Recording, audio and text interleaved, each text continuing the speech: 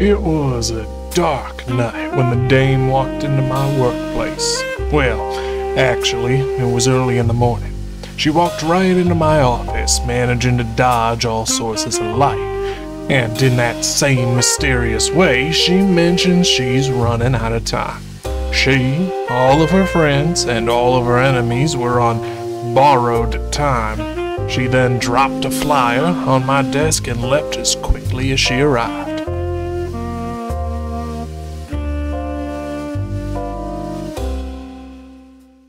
Early the next day, I attended my day job, head of the yard, Austin City's only morgue, graveyard, and party room, all in one. And while my coworkers and I were waiting for any business, I decided to put on the show advertised by that flyer.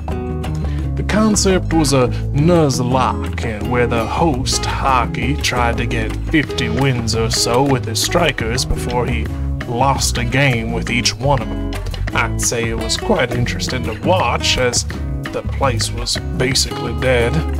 But soon enough, Haki lost a match. He was using Luna, a small child who just seemed to love explosives. Yeah, rip Luna indeed. Luna is out.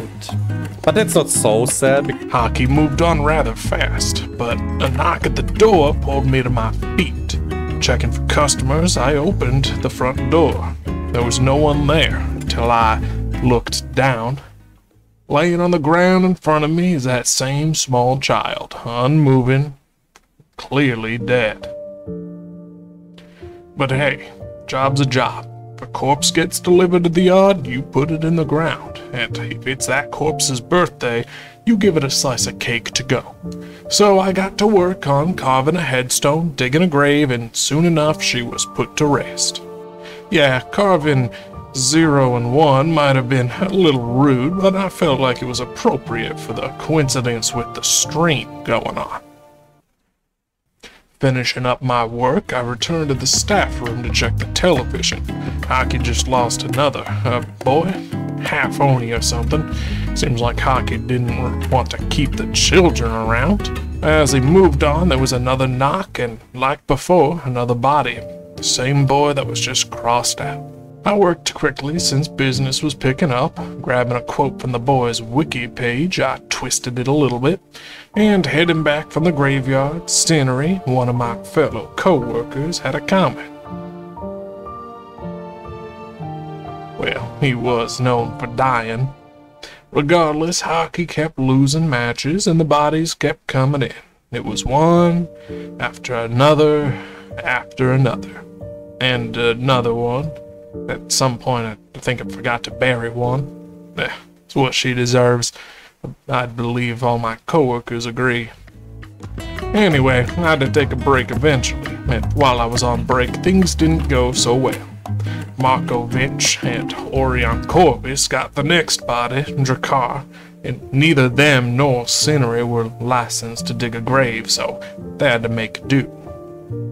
They put Drek'ar into an empty room the memes channel, and in case anyone checked, they put up an image in front of the body. Clever. But that wasn't the only issue. The group wanted to do some digging to find what exactly was happening to these poor people. But anything that might have had clues, such as medical records, were recently destroyed. And if that wasn't enough, they had to deal with another body, Estelle. Quickly, another plan was hatched. Estelle's body was set down in the lobby. Marcovinc attempted to make her look as lively as possible. Thankfully, before anyone else could die, I got back to make more graves. A shame about that one. Yeah, I'm not sure about that inscription, but as I was working, more bodies were delivered. Yeah, that's the only image I had to work with. Oh, and Marcovinc had a way better idea for an inscription. So I needed to dig her up, and thankfully my good friend LanCon arrived to his shift. While I was working, LanCon was busy covering for us in case anyone arrived. And soon enough, I was done. Anyway, Vyce showed up, uh, dead. Um, Vyce was dead. So I needed to do some digging myself. Clearly, Haki was causing all of this, and because of that, he might be onto us. Uh oh. Clearly, I can't get too out of line, and when another body, X, arrived, I buried him too. But the evidence was starting to pile up against Haki.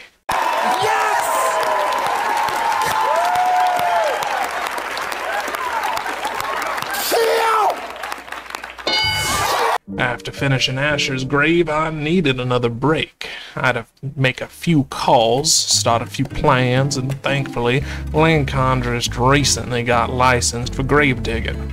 In the time it took me to make some arrangements, LanCon had to bury two, Rasmus and Atlas. Now, he didn't follow the style guide, but there wasn't time to remake the headstones, because Haki was down to three strikers. If I was planning to do something, I was running out of time. And as soon as I realized that, Dubu fell. Haki then decided that it was Kai's turn, but something was happening. Kai was fighting back. He managed to win a match, and he then he won another, but that still wasn't enough for Haki. And so there was one striker left, the cheery upstart trying to rise up the ranks of Course Strike, Juliet. But as the match started, my plan kicked into action.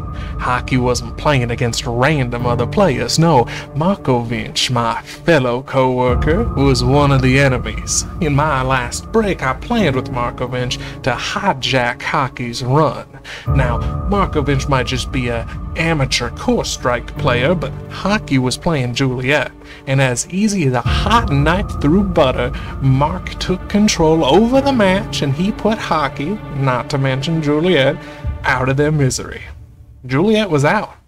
But ending Haki's little game wasn't all we agreed on. Well, I can tell you for certain that Marcovinc didn't kidnap and kill Haki. No, that wouldn't have been right. I can also say that the last time anyone saw Haki was when he was celebrating the end of his 11 hour Nuzlocke with Marcovinc, conveniently at the party room at the yard. I can also tell you that I buried Haki myself, and I consider it important to mention that I believe Haki got what he deserved.